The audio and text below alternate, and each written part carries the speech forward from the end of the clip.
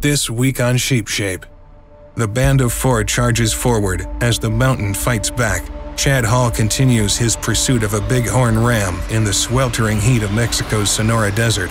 Rick Carone attempts to redeem himself, all while trying to stay healthy enough to finish the hunt. The tides turn as Patrick and Lauren put Kelsey on a nice Texas aoudad. Time is running out, and the temperature is rising on the season finale of Sheep Shape.